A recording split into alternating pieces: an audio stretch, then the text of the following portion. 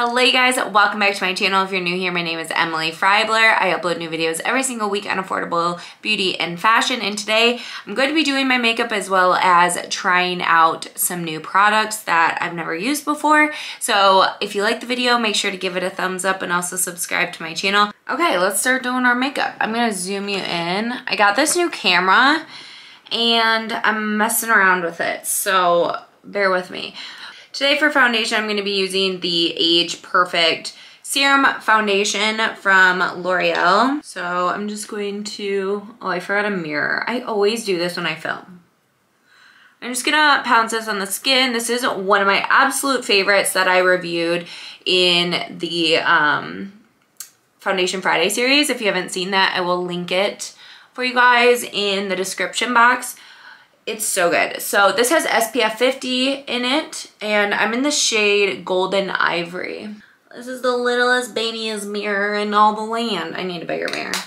Oh, it looks so much like skin. It's crazy.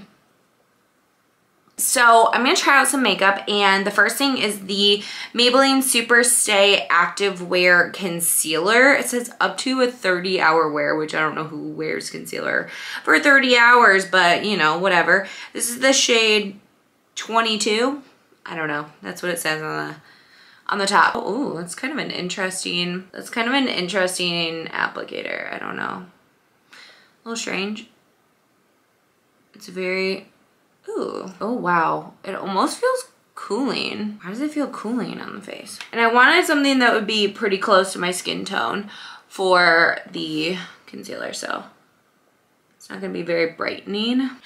I'm struggling today. Put a little bit more. So they have the Super Stay foundation as well, which I've actually never tried. I've tried their powder foundation, I think, from that line. Okay, it's pretty good. It's very lightweight and feels pretty good on the skin, so that's good. Next up, I'm gonna do the, my favorite powder right now is the Wet n Wild Bare Focus powder. I love this stuff. And I just take a powder brush, go along the face. This powder, I literally wore in Nashville in so much heat and my makeup honestly looked really good all day. This is the CoverGirl High Pigment Bronzer in the shade Sunset Glitz. So I'm just going to put this all over the face. This just makes your face look so nice and bronzy without being like overdone. And I feel like my face just looks really glowy. That's also another plus from this foundation. It's just seriously one of the best easy to throw on foundations. Um, it has SPF 50, so I love wearing it in the summertime. Just throw on and go. It's so good. So this is the Milani Luminoso blush. I've literally worn this for years and it's almost gone, so I need a new one. It is literally one of my absolute favorite ones. Probably my top blush, honestly. I just love, love, love a peachy blush. It's one of my absolute favorites. Okay, I'm liking the concealer. I feel like it looks pretty good. It's not super high coverage. Like I would say it's a medium coverage, but I like that look. I don't really mind it. So yeah, the Super, Super Stay Concealer is pretty good. I do have a little bit of brow gel already on my brows just because I had some meetings earlier. So I like to just at least put on a brow. This is the NYX Thick It Stick It in the shade Brunette. It's my ride or die right now. I love it so much. Basically, the other two couple products I have is this little baby mascara from Maybelline, which I'm really excited to try out for my lower lashes. I always tend to get mascara on the lower part of my eye just because, you know, the wands are too big and all of that kind of stuff. So this is literally called a this is our Lash Discovery Mascara. It has a mini brush that captures and coats hard to reach lashes. So it's literally supposed to be like this big. So we'll see how it works. But first I'm going to curl my lashes. I need a mirror. I'm gonna poke my eye out. Also lost my lash serum, so I didn't wear it for like, I don't know, maybe five days. I was like, oh no, I feel like my lashes are gonna go bad again. So I have reordered it on Amazon and it's literally the best thing ever. I think the one I use is like $25 and I've repurchased it now maybe three times, maybe four times, I don't know. And it's so good. I will link it for you guys.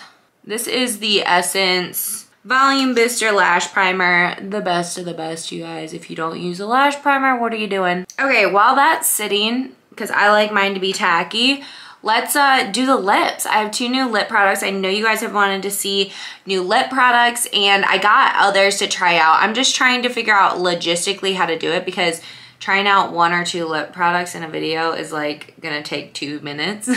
so not that like, you know, I don't like making shorter videos, but like I like to get like around a 10 minute video. So I don't know if I should try multiple throughout the week and then put it in one video. Like let me know what you're thinking, okay? Because I don't really know how to do it and you guys want to hear about new lip products, but like tell me how you want it or what you think would be a good way to do it.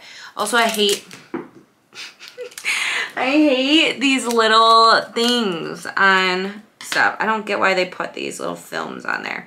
Just a waste of plastic. Like I get you don't, they don't want people to open them, but like, come on. So the lip liner I'm gonna try is from NYX. This is in the shade Bed Rose. I guess it's a sharpenable one. Does it have one of those sharpeners on the bottom? I can't tell, I don't understand. We're gonna try this out. It looks pinky and I'm excited. Oh, it is very pink, okay.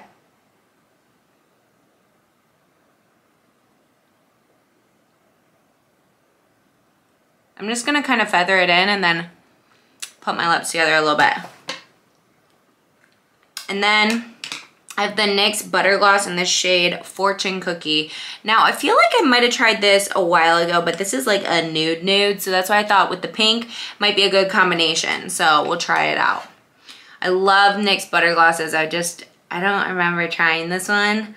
And if I did, it was a really long time ago. So I'm putting some on I'm basically just trying to blend it together.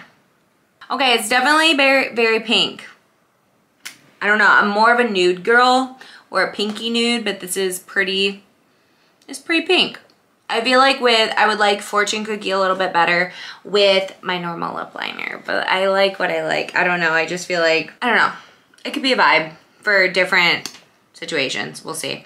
This is the Maybelline Colossal Mascara in, or the Curl Bounce yeah, the Colossal Curl Bounce Mascara. So we're gonna use this on the top lashes and then the little tiny one on the bottom one. This also could be good if you're kind of like me. The inner corner lashes are sometimes hard to get, but it's mainly the bottom lashes that I want it for to see if it can really separate them and if it won't get on my skin, you know? I say, oh, I don't want it to get on my skin, and then I get my normal mascara on my skin. Okay, let's try out this bottom lash mascara. Ooh, it looks like a flexible wand. Let's try this.